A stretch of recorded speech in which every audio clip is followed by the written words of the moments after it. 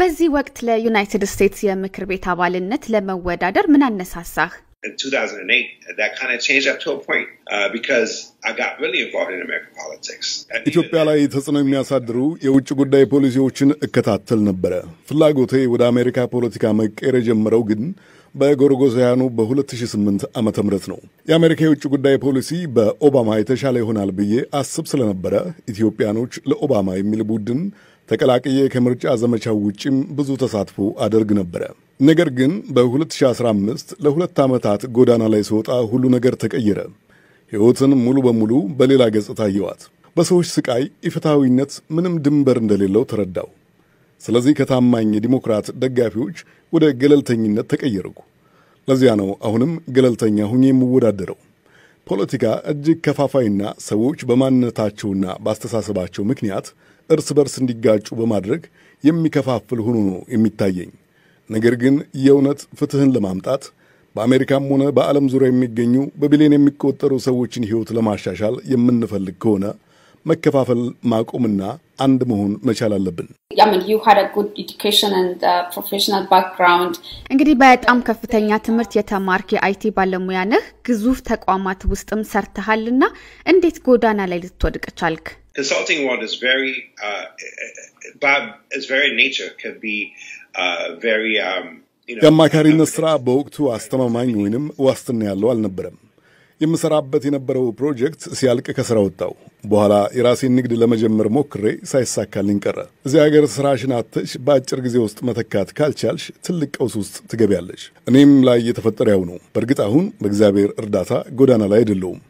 እንደውም ከሰባት ዓመት በፊት ከማገኘው የበለጠ ትልቅ ገንዘብ ይከፈለኛል። ቅድም በጣም አክራሪ ዲሞክራት እንደነበርክ ጠቅሰሃል። ዲሞክራትና ሪፐብሊካን ፓርቲዎች ደግሞ በርካታ ደጋፊ ያላቸው ግዙፍ የፖለቲካ ፓርቲዎች ናቸው። አሁን አንተ በገለልተኝነት ለመወዳደር ስትነሳ ልዩነቱ ምንድን ነው? ምን አይነት የተለየ የፖለቲካ አማራጭ ነው ይዘህ የተነሳኸው? Sure. I mean, you know, to be honest, with you, everything for me goes back to the two years of homelessness.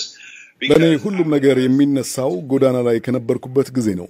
የዛኔ ነው ሁለቱ ፓርቲዎች ልክ እንደ ጎሳ መሆናቸውን የተረዳው። ኢፍትሐዊነትን፣ ሰብአዊ መብትን፣ እኩልነትንና መልካምነትን በጎሳ አይን ስንመለከተው ኢፍትሐዊነትን አቅም እየሰጠነው ነው።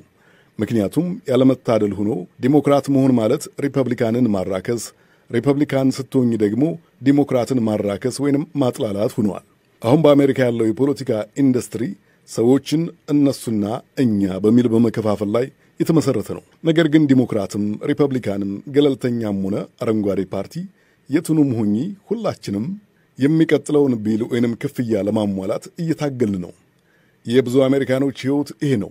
በቢል ጌትስ፣ ቤዞስ ወይንም ዛከንበርግ ስም የምንጠራ ካልሆነ በስተቀር ከታች ያለው ዘጠና ከመቶ የሚሆነውን ማኅበረሰባችን ውስጥ ነን። ተቀማጭ ገንዘብ የለንም። የክፍያ ቀናችንን እየጠበቅን ነው የምንኖረው። ያ ነው ከፓርቲ ደጋፊነት ወጥቼ ገለልተኛ እንደሆንና ሰውነታችን ላይ እንዳተኩር ያደረገኝ። አሜሪካም ኢትዮጵያም ሁሉም ሀገር የሚያስፈልገው ይሄው ነው። ራሳችንን በልዩነት መነጸር ውስጥ ስንመለከት በዚህ ዓለም ላይ በርካቶችን በድህነት አረንቋ ውስጥ የከተተው ስርዓትን እያጠናከርን እንሄዳለን። ግን እነዚህ ሁለት ግዙፍ ፓርቲዎች ለረጅም ዘመናት የኖሩ ስር መሰረት ያላቸው ተቋማት ናቸው። በዛ ላይ ትልልቅ የገንዘብ ምንጭ አላቸው። አንተ ደግሞ የኮርፖሬት ገንዘብ እንደማትወስድ ገልጸሃል። በዚህ መልኩ ገለልተኛ ሆኖ ከግዙፍ ፓርቲዎች ጋር መወዳደር አይከብድም?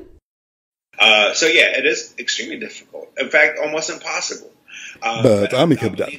እንደውም የማይቻል ይመስላል። ነገር ግን አሁን ባለንበት ወቅት ያለው ስርዓት ለእኛ እየጠቀመን አይደለም። የባይደን ተቀባይነት ከአርባ ከመቶ ያነሰ ነው። የምክር ቤቱ ደግሞ ከሀያ በመቶ ያነሰ ነው። ስለዚህ እየመራ ያለው መንግሥት ሕዝቡ የማይስማማበትና ተቀባይነት የሌለው ነው። የኖርንበት የዲሞክራትና የሪፐብሊካን አካሄድ ከዚህ በኋላ የማያዋጣን ከሆነ ደግሞ የሆነ ነገር ማድረግ አለብን እያልኩ ነው። እንግዲህ ያለመታደል ሆኖ አሁን ያለንበት ጊዜ በዓለም ዙሪያ እጅግ ፈታኝ ጊዜ ነው። የዩክሬን ጦርነት እያሳደረ ያለው ተጽዕኖ አለ። ኮቪድ-19፣ ድርቅ፣ የአየር ንብረት ለውጥ ብዙ ተጽዕኖዎች እያደረሱ ነው።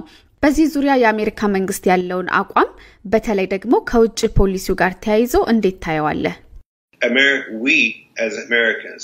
need to stop being the police. እኛ አሜሪካኖች የዓለም ፖሊስ መሆን ማቆም አለብን።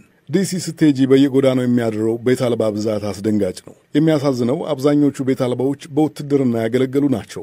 ከ50 ዓመታት በላይ የማያቋርጥ ጦርነት ውስጥ ገብተናል። ቢሊዮን የሚቆጠር ገንዘብ ለዩክሬን አይጠቅምም። የሚጠቀሙት አንዳንድ ተቋማት ናቸው። ለአሜሪካን ሰራተኞች አነስተኛ ተቋማት ወይንም የተማሪዎችን ዕዳ ለመሰረዝ ሲሆን ግን ገንዘብ የለም። ስለዚህ በሌሎች ሀገሮች ጉዳይ ጣልቃ መግባት ማቆም አለብን። ዓላማችን የዲሞክራሲን ማስፋፋት ከሆነ መጀመሪያ እዚህ አሜሪካ ውስጥ ዲሞክራሲን ተግባራዊ በማድረግ እንጀምር። ቅድም እንዳልከው የዲሞክራትና የሪፐብሊካን ደጋፊዎች ይበልጥ ወደ ጥግ እየሄዱ ልዩነታቸው እየሰፋ ነው። ይበልጥ የአክራሪነት አካሄድ ነው የሚታየው እና አሜሪካኖችን ሀሳባቸውን ማስቀየርና እንዳንተ ገለልተኛ አቋም መያዝ እንዲችሉ ማድረግ ቀላል ነው።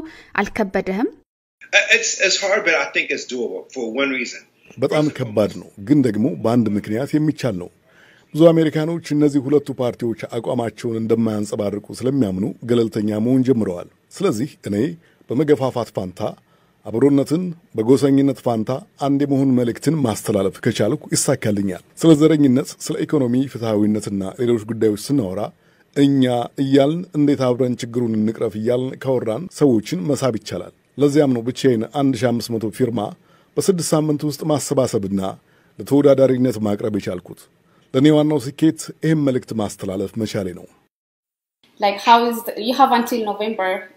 እንግዲህ ምርጫው በህዳር ወር ነው የሚካሄደው። እስከዛ ጥቂት ወራቶች አሉ። በዚህ ጊዜ ውስጥ የምርጫ ዘመቻህ ምን አይነት መልክ ይኖረዋል? እስካሁን ያተኮርኩት ፊርማ ማሰባሰቡ ላይ ስለነበረ አንድ በአንድ ሰዎችን ማግኘትና ማናገር ላይ ነበረ የምሰራው። አሁን ደግሞ ያንን ለማስፋት የተለያዩ አካላትና ቡድኖችን ለማግኘት ከእነሱ ጋር ግንኙነቴን ለማጠናከር እየሰራው ነው። በቀጣይ ደግሞ ዘመቻዬን ከሚደግፉና አቀንቃይ ከሚሆኑ ድርጅቶች ጋር አብሬ እሰራለሁ።